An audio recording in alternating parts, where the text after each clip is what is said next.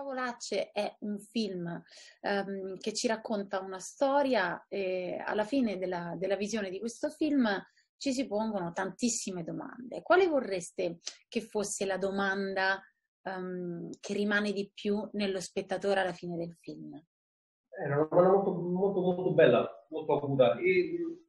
io domande no, io vorrei che si che raggranellasse dentro di sé le, i giusti limiti per potersi guardare attorno per poter ascoltare meglio quello che il cervello gli dice. Perché spesso crescendo si tende a fare un po' 0-0 con la vita.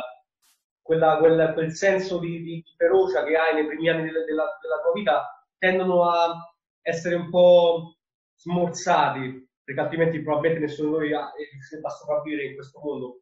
Però se ci pensi è estremamente deludente come, come, come, come risposta. Sicché io, a me piacerebbe che le persone tornano a casa, ormai, anzi no, vedendosela a casa, perché questo film verrà proposto in stringhe, ecco, sdraiandosi sul letto, mh, mm, possono rimettere in discussione anche dei sensi della loro vita più vulnerabili, più teneri, meno virili o tra virgolette comodi.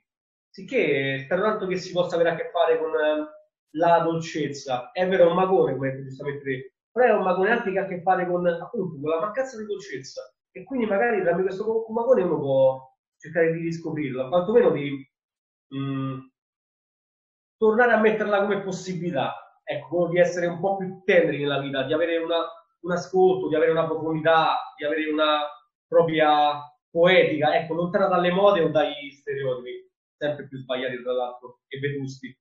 Ecco, la realtà di questo film è un piccolo centro, anche se fa parte di una grande città, e di solito in questi piccoli centri, come nel vostro film, la scansione del tempo uh, è una cosa che va a sé, è come un microcosmo. Voi avete raccontato questo universo perché lo conoscete oppure perché lo, lo avete immaginato? No, noi siamo nati in periferia, ma poi siamo spostati nel litorale romano, quindi abbiamo fatto Anzio, Lavinio, Nettuno, eh, Turvaglianica, solo Ostia ci è mancato. E, ehm, io penso che la, la, la provincia abbia eh, una gravità diversa proprio, cioè quello che si respira in provincia è differente perché ci sono ovviamente i retaggi della, della città che sono tutti, tutti, tutti lì e sono eh, emblematici e sono eh, immancabili quel profumo della città, spesso i, i vizi no? della città sono presenti, ma c'è un clima più pantofolaro, più, ehm, più, più sonolento, più eh, annichilente, no? E, e, quindi ci faceva, ci faceva in qualche modo eh, fare un film così turbolento e tormentato in, um, in un'atmosfera molto rarefatta molto anche soleggiata e anche un po', anche un po ipnotica, con una, una pigrizia ipnotica, no?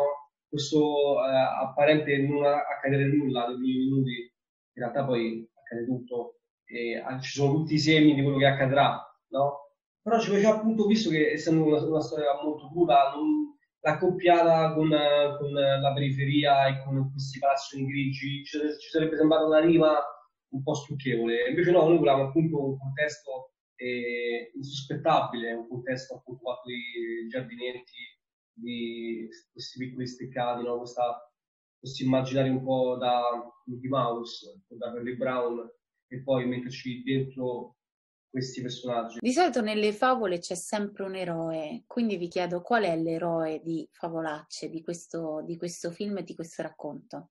Beh, sì, ma gli eroi ci sono e sono, e sono tutti, tutti, bambini. Nel senso che i, i bambini ehm, sono gli unici che scelgono di scendere da questo palcoscenico, che hanno eh, imbastito eh, i, i, genitori, no? In cui appunto si recita, si recita di essere padre, si recita di essere madre, sono dei, dei stilemi che non, che non esistono, che sono obsoleti, che sono caricaturali che appartengono a, a un, un, un, pubblico da televisione.